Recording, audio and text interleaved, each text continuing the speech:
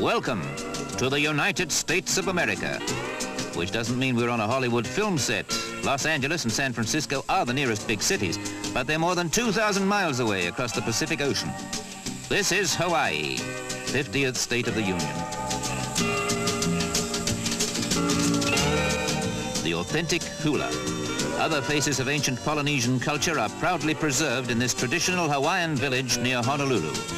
Part of that culture is a great respect for the old, and they have an important part to play in the community.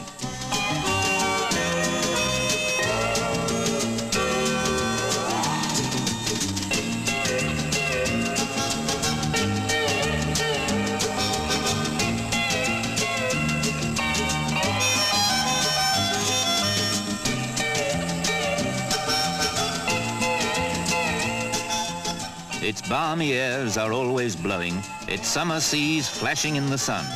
So Mark Twain recorded his own indelible memory of the land he claimed had the strongest hold of all. Here he was at home, amid, if you like, nature's own flower children, because here the flower means everything that is beautiful, and there are flowers everywhere. The grass skirt and the leis symbolize the simple life in the sun, but on Hawaii's islands, life is as modern as anything else in 20th century America. Local architecture adds its own vernacular charm to the skyscraper elegance of big city skyline.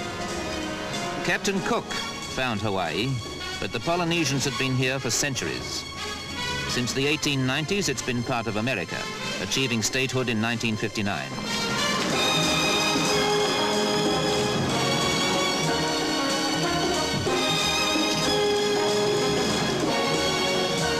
Prosperity here. Ala Moana is one of the biggest shopping arcades in the world. Here in the great expanse of the Pacific, an island community has every convenience of big city life.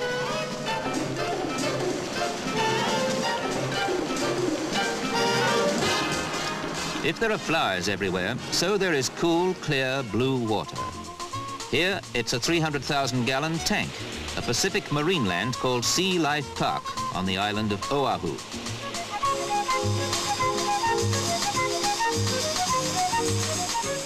As well as being a sea circus, it's an ocean science theater where you can see how dolphins are trained to go diving with frogmen scientists investigating their amazing feats of underwater detection.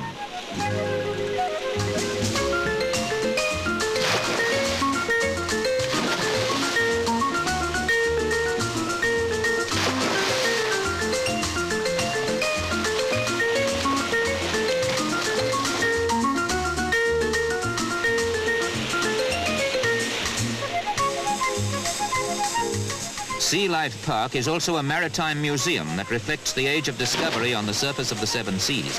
Although to the tourist, a sea circus with a whale as aquatic acrobat has an appeal that's far from academic.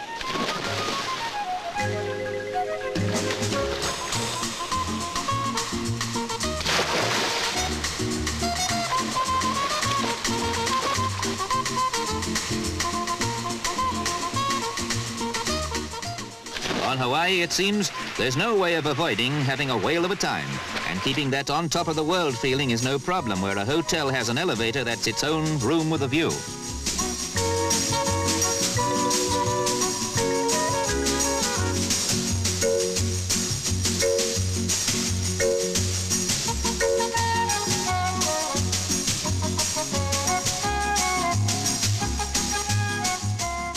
Blue water. Water everywhere.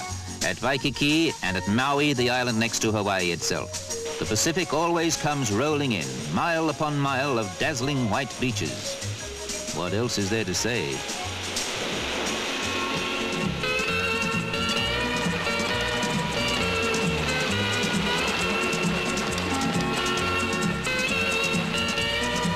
You don't have to be a Bondi Beach brave to get the knack of surf riding, and you need no acrobatic talent whatever to be seeped in sun and the irrepressible sound of the ocean rollers sweeping into the shore.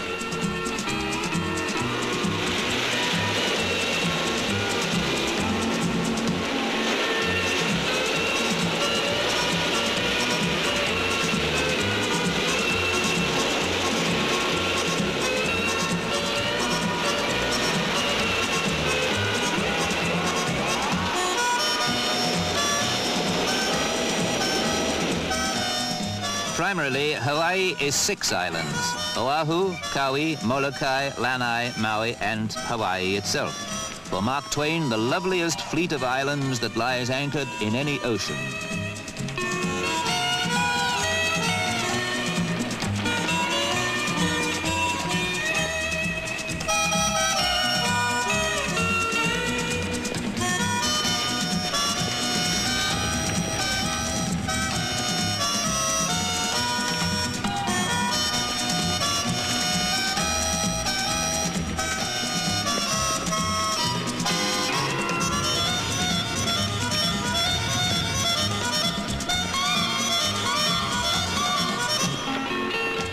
Volcanic rock and coral reef form the dramatic island's terrain. The Pacific sailor's landmark is Diamond Head. It means as much in these islands as the White Cliffs of Dover or the Statue of Liberty. But Honolulu is the Pacific's crossroads, where the myriad island cultures meet. And it's the stopping off place for the trans-Pacific traveler.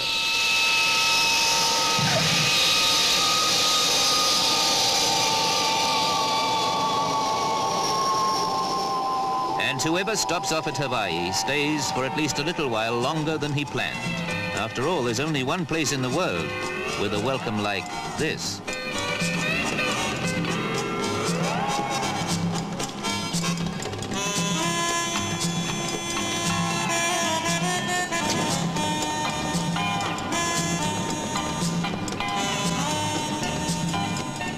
The message of the islands is come and see the friendship that goes with flowers.